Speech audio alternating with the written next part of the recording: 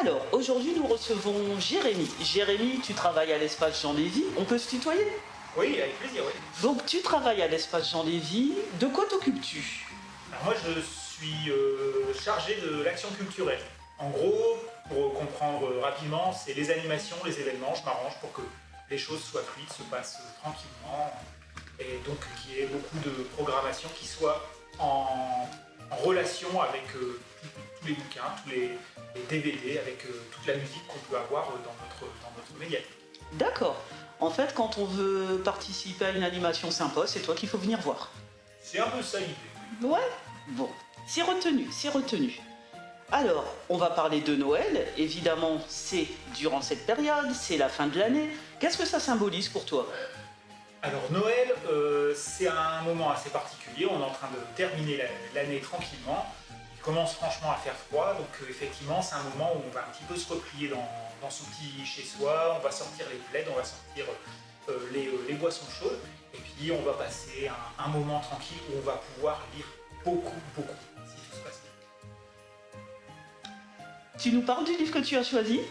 Alors le livre que j'ai choisi, c'est un excellent souvenir que, j'ai eu de, lecture. Ça s'appelle Il était une fois dans le Nord, c'est de Philippe Pullman, et c'est un hors-série de la série À la croisée des mondes. Alors À la croisée des mondes, c'est une trilogie qui est vraiment excellente, avec euh, des, euh, des ours en armure, avec euh, une jeune fille qui a un animal qui l'accompagne mais qui représente aussi son âme, avec quelque chose qui est un petit peu contre l'Église, enfin, vraiment contre le dogme et des choses comme ça. Euh, mais c'est pas pour dénoncer méchamment l'Église, c'est- vraiment quelque chose de beaucoup plus construit. Et donc là, c'est un hors-série qui est génial où on va pouvoir retrouver deux personnages secondaires mais vachement importants dans cette trilogie.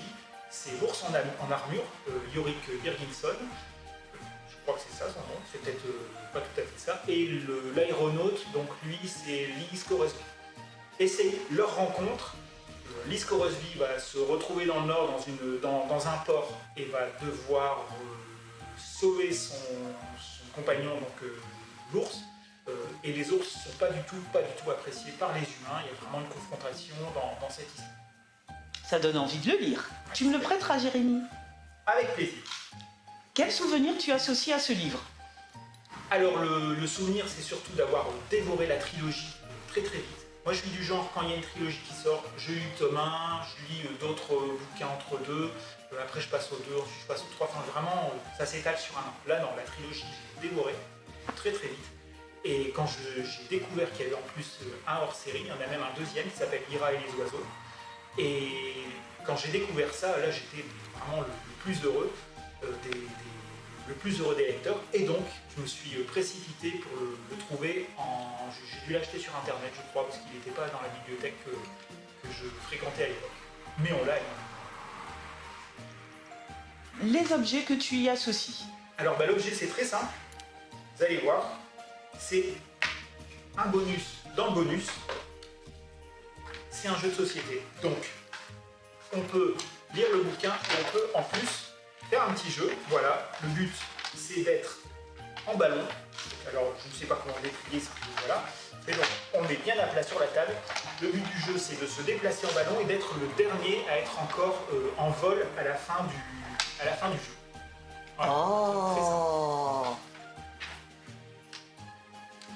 Dis Jérémy, je pourrais venir passer Noël chez toi à jouer avec ça ce sera l'occasion de te prêter le bouquin et puis ce sera l'occasion de faire le jeu de société. Super, je note, je note. Faudra que tu me donnes ton adresse. Merci Jérémy d'avoir si gentiment répondu à notre invitation. Été un plaisir.